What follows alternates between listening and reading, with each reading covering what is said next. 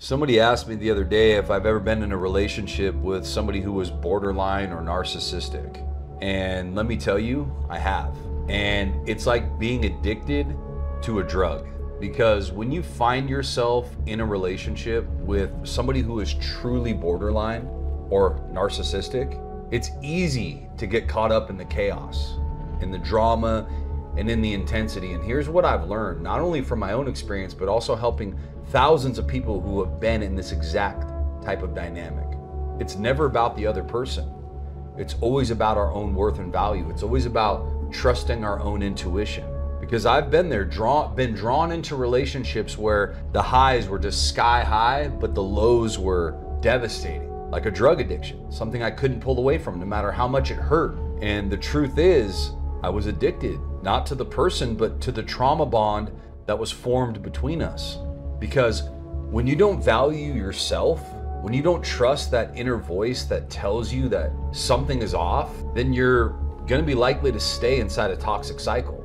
And you actually start to believe that that roller coaster, that addiction, the highs and lows, those emotions, that it's normal. And the love bombing and the devaluation is just part of the deal, but it's not.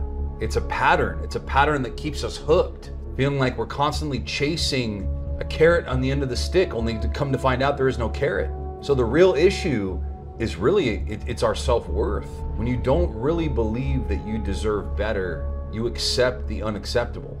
You ignore the red flags. You make excuses. You stay even when you know deep down that it's destroying your life. That's the power of a trauma bond. It's that intense. It's that consuming. And it feels like you, you can't live without it, but it's also toxic. And it's a sign that we're not valuing ourselves the way we should, that we're ignoring our intuition. And we're ignoring our intuition in favor of holding on to something that's ultimately hurting us. So, breaking free from this cycle really starts by recognizing your worth and trusting yourself. It's about stepping back and really asking yourself, right? Why am I even drawn to this? What am I really looking for? What am I searching for here? And more importantly, what do I deserve? We don't have to stay stuck in toxic patterns. The real strength lies in valuing ourselves enough to break these bonds and seek out the kind of love that's healthy, supportive, and real.